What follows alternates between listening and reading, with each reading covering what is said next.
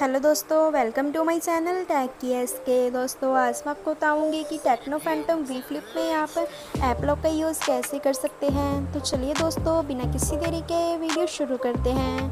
तो दोस्तों, इसके लिए सबसे पहले आपको अपने फ़ोन की सेटिंग्स में चले जाना है। सेटिंग्स में जाने के बाद आपको यहाँ पर एक ऑप्शन मिलेगी। आप यहाँ पर देख सकते हैं पासवर्ड एंड सिक्योरिटी की। आपको यहाँ पर क्लिक करना है। उसके बाद दोस्तों, आपको यहाँ पर जो है ऑप्शन मिलेगी। आप यहाँ पर देख सकते हैं ऐप लॉक की, आपको यहाँ पर क्लिक करना है।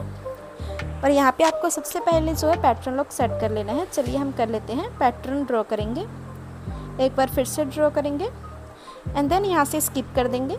उसके बाद दोस्तों, आपको यहाँ पर जिस भी ऐप को लॉक लगाना है, आपको सिंपली उसके सामने बने हुए इस लॉक वाले आइकन के ऊपर क्लिक करना है। जैसे कि मैंने क्रोम को लॉक किया।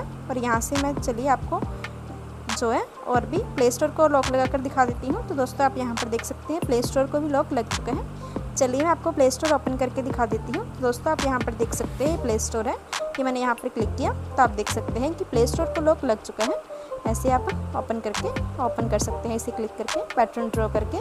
एंड देन अगर आप इसे अनलॉक करना चाहते हैं तो आपको सिंपली ऐप लॉक के ऊपर क्लिक करना है पैटर्न ड्रॉ करेंगे।